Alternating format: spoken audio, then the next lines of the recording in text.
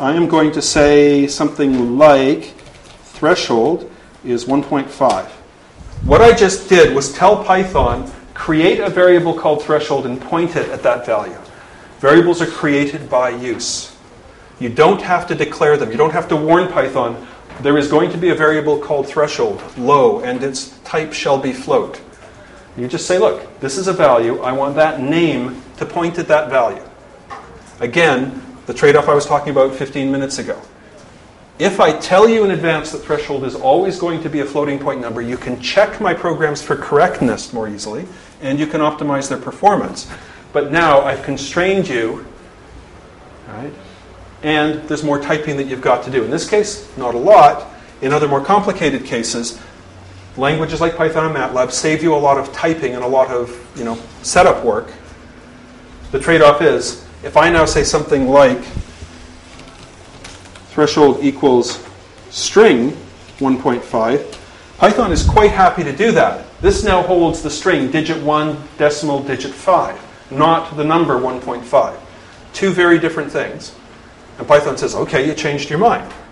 Well, if the rest of the program is expecting that to be a real number and it's in fact a string, things are going to blow up. Right? Or, what's worse, they will work, they will just generate the wrong answer but not generate an error message. Well, I'm not really sure he should be doing this, but he's the boss, so I'll go ahead and do this and I'll just fail silently. Right? Worst possible outcome is the program actually runs and doesn't tell you that it's doing the wrong thing.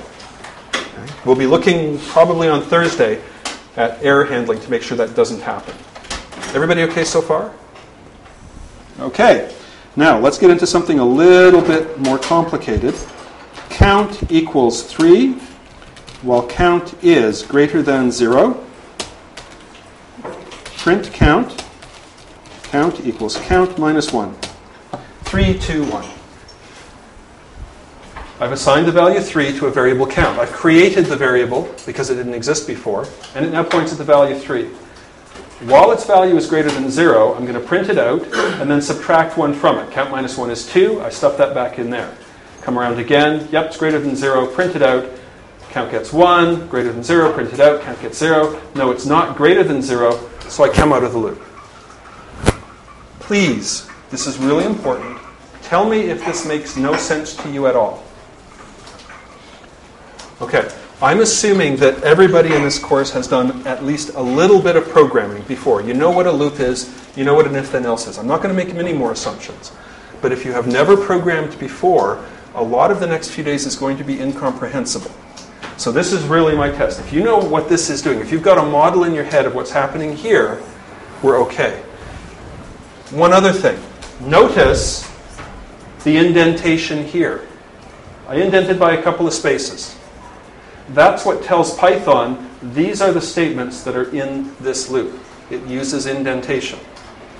In a language like Java, you would open a curly brace here, have your statements probably with semicolons at the end, and close a curly brace here. In Python, it's while count greater than zero, colon, and then the things that are inside the loop are indented.